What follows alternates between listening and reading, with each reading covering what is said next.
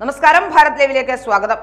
Devikulam sub കളക്ടറെ അധിക്ഷേപിച്ച് C P M നേതാവും Udumbanchola M L എയുമായ M M Mani Devikulam sub collector Rahul Krishna Sharma തെമ്മാടിയാണെന്നായിരുന്നു M M മണിയുടെ അധിക്ഷേപം.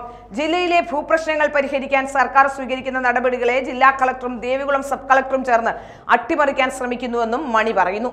ജില്ലയിലെ വിഷയങ്ങളുമായി ബന്ധപ്പെട്ട് സ്വീകരിക്കുന്ന നടപടികൾ നിർത്തിവെക്കാൻ മുഖ്യമന്ത്രി കഴിഞ്ഞ ദിവസം ജില്ലാ കളക്ടർ മുഖേന ദേവികുളം സബ് കളക്ടർക്ക് നിർദ്ദേശം നൽകിയിരുന്നു.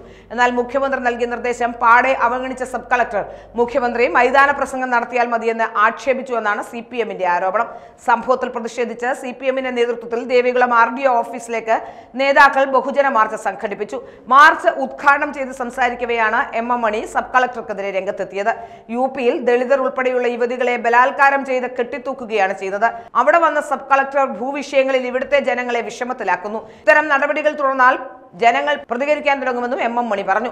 ദേവികുളം ഇറച്ചിപ്പാറയിൽ നിന്നും പ്രകടനമായി എത്തിയ പ്രവർത്തകരെ ആർ ഡി ഒ ഓഫീസിന് സമീപത്ത് പോലീസ് തടഞ്ഞു. തുടർന്ന് പ്രവർത്തകരും നേതാക്കളും റോഡിൽ കുത്തിയിരുന്ന് പ്രതിഷേധിച്ചു. എം എം മണി ഇത് ആദ്യമല്ല ജനങ്ങളെ അധിക്ഷേപിക്കുന്നത്. എം എം മണി നേതാക്കന്മാരെയും അതുപോലെ തന്നെ കളക്ടർമാരെയും ഒക്കെ അധിക്ഷേപിക്കുന്ന ആദ്യത്തെ സംഭവമല്ല. നേരത്തെ ദേവികുളം സബ് കളക്ടറായിരുന്ന ശ്രീറാം വെങ്കിട്ടരാമനെയും ഇത്തരത്തിൽ വലിയ രൂക്ഷ വിമർശനങ്ങൾ കൊണ്ടായിരുന്നു മണി നേരിട്ട് കൊണ്ടിരുന്നത്. ഏതായാലും ശ്രീറാം വെങ്കിട്ടരാമൻ സ്വയം കുഴിച്ച കുഴിയിൽ ചാടിയതോടുകൂടി ശ്രീറാം വെങ്കിട്ടരാമനെ ആ കേസുമായി ബന്ധപ്പെട്ട് നടന്ന സംഭവങ്ങളുമായി ബന്ധപ്പെട്ട് ഒതുക്കിയതുകൊണ്ട് വലിയ ഗുണം സി പി എമ്മിന് ഉണ്ടായി. സി പി എമ്മിനെ സംബന്ധിച്ചിടത്തോളം ഒരാളുടെ വായടയ്ക്കാൻ കഴിഞ്ഞു. എന്നാൽ പുതിയ കുട്ടികൾ അതായത് പുതിയ ആൾക്കാർ ഈ ഐ എ എസ് ഒക്കെ നേടി വരുന്നവർ അവർക്ക് എന്തെങ്കിലുമൊക്കെ ചെയ്യണമെന്ന ആഗ്രഹമുണ്ടാകും. ഇത്തരത്തിലുള്ള രാഷ്ട്രീയ നേതാക്കന്മാർ അവരുടെ ചട്ടുകങ്ങളായി പലപ്പോഴും ഈ ഐ എ എസ് ഉദ്യോഗസ്ഥന്മാരെ ഉപയോഗിക്കുന്നുണ്ട്. അത് പറ്റില്ല എന്ന് പറയുന്നവരെയാണ് ഈ തെമ്മാടി എന്ന് വിളിക്കുന്നത്. എന്ത് യോഗ്യതയാണ് എം എം മണിക്ക് ഒരു കളക്ടറെ തെമ്മാടി എന്ന് വിളിക്കാനുള്ളത്? അയാൾ തെമ്മാടിയാണെങ്കിൽ ഇനി ഒരു കളക്ടർ തെമ്മാടിയാണെങ്കിൽ ഒരു പക്ഷേ ഈ ചെറിയ പ്രായത്തിൽ ഐ എ എസിലേക്ക് വരാൻ കഴിയില്ല. ഇനിയും ഡിവൈഎഫ്ഐക്കാരനാണ് എന്ന് വിചാരിച്ചാണോ വിളിച്ചതെന്നറിയില്ല. കാരണം തെമ്മാടികൾ എന്ന് പറയുന്ന കൂട്ടങ്ങൾ ആരൊക്കെയാണെന്ന് എം എം മണിക്ക് നന്നായി അറിയാമായിരിക്കും.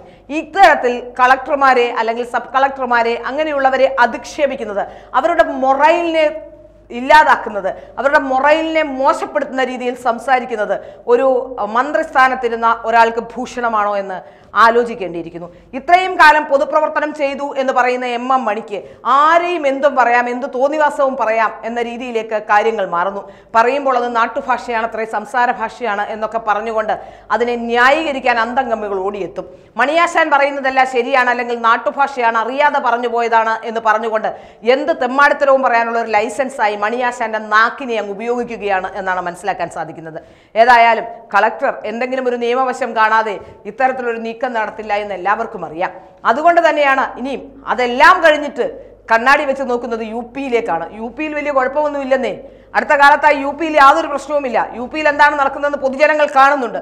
യു പി ഏറ്റവും മികച്ച സംസ്ഥാനമായി മാറിക്കൊണ്ടിരിക്കുകയാണ്. അപ്പോഴാണ് ഇവിടെ നിന്ന് യു പി യു പി എന്ന് ബഹളം വെക്കുന്നത്. യു പിയിൽ പോലും നടക്കാത്ത കാര്യങ്ങളാണ് കേരളത്തിൽ നടക്കുന്നത്. നരബലി അടക്കമുള്ളവർ സി പി എമ്മിന്റെ മെമ്പറായിരുന്ന സി പി എമ്മിന്റെ പ്രവർത്തകനായിരുന്ന ഒരാൾ നരബലിക്ക് കൂട്ടുനിന്നു. അത്തരത്തിലുള്ള അന്ധവിശ്വാസങ്ങളിലേക്ക് കേരളത്തെ കൊണ്ടുപോകുന്ന രീതിയിലേക്ക് Keralam മാറുമ്പോഴാണ് U P U P U P എന്ന് പറഞ്ഞുകൊണ്ട് എന്ത് പറഞ്ഞാലും യു പി അല്ലെങ്കിൽ സംഖി എന്ന് പറഞ്ഞുകൊണ്ട് എം എം മണിയെ പോലെ ഉള്ളവർ പഴയ കാലങ്ങളിലേക്ക് പോകുന്നത്. അവർ എന്തിനും കുറ്റപ്പെടുത്തുന്നത് ബി ജെ പി ആണ് പക്ഷേ നിങ്ങൾ കുറ്റപ്പെടുത്തിക്കൊണ്ട് വിടിരുന്നുള്ളൂ ബി ജെ പി കുതിച്ചു പായുകയാണെന്ന് എല്ലാവർക്കും അറിയാം. അടുത്ത പതിനഞ്ച് വർഷത്തേക്കെങ്കിലും ബി ജെ പി തന്നെ ഇന്ത്യ ഭരിക്കും.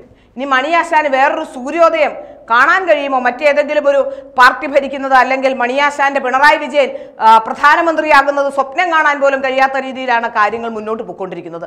അതുകൊണ്ട് മണിയാശാൻ കളക്ടർമാരെയൊക്കെ അധിക്ഷേപിക്കുമ്പോൾ യു പി അങ്ങ് വെറുതെ വിട്ടേക്കണം. കാരണം യു പി എന്താണെന്ന് ജനങ്ങൾക്ക് മനസ്സിലായി തുടങ്ങി. യു പിയിൽ എന്താണ് ശക്തനായ ഒരു ഭരണാധികാരി യു പിയിലുണ്ടെന്നും യു പിയിൽ എന്തെങ്കിലും തരത്തിലുള്ള സ്ത്രീകൾക്ക് പോലും റോഡിലിറങ്ങി നടക്കാൻ കഴിയാത്ത രീതിയിലുള്ള സ്ഥലമായിരുന്നിടത്ത് ഇന്ന് എങ്ങനെയാണ് സ്ത്രീകൾ അതുവഴി നടക്കുന്നത് എന്നുള്ള കാര്യമൊക്കെ എല്ലാവർക്കും എല്ലാവർക്കും മനസ്സിലാവുന്നുണ്ട് കേരളത്തിലാണ് സ്ത്രീകൾക്ക് നടക്കാൻ കഴിയാത്തത്.